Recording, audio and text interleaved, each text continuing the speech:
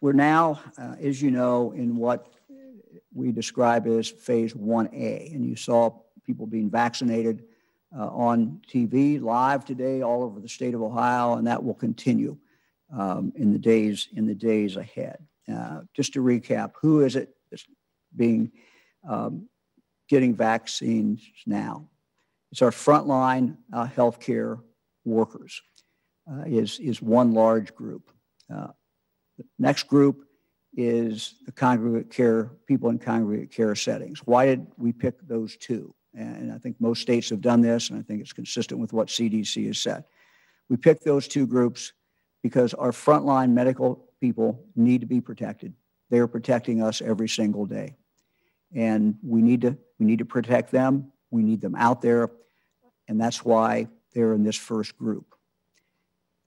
In addition to that, we are seeing our heaviest losses in our nursing homes and in other congregate care settings. So we are starting with our nursing homes where the risk is the highest. And then we're moving to other congregate care settings where people are living together and where we know when it comes in, it spreads very quickly.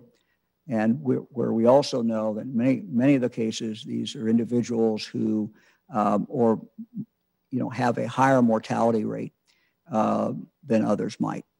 So that's that's what you're seeing happen today. It's not going to be done, you know, overnight. It's going to take weeks and weeks to do it, uh, but we have the process in place uh, to get to get that job done. And we have people out there who are doing this. We have, for example, our health departments who are getting vaccines. They're now working with EMS as just as one example. They're working in some other kind of care settings.